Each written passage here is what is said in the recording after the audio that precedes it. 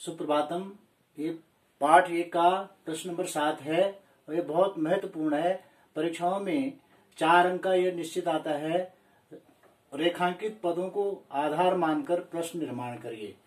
सक्टियानम कज्जल मलिनम धूमम मुंचती तो कज्जल मलिनम है, काजल के समान। इसलिए क्या आया? सकटी यानम कीदृशम धूमम मुंजति कैसा धुआँ छोड़ती है?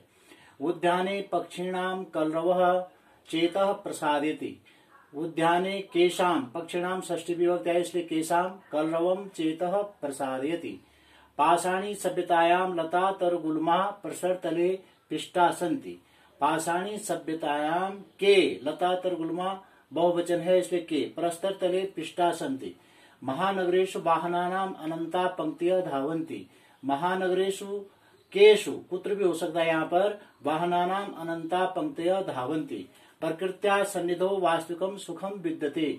कया, प्रकृत्या स्त्रीलिंग है, इसलिए कया शब्द आया। सन्निधो वास्तविकम सुखम विद्यते।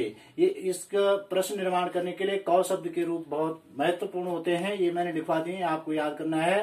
कौ कौ के, कम, कौ कान, केन काभ्याम कै, कस्मे काभ्याम केभ्य कस्मात काभ्याम केभ्य कस्य कयो केशाम कस्मिन कयो केशु जिस विभक्ति का रेखांकित शब्द होगा, उसी विभक्ति का इनमें से रूप लिखना है और वो प्रश्न निर्माण करने में सहायक होगा।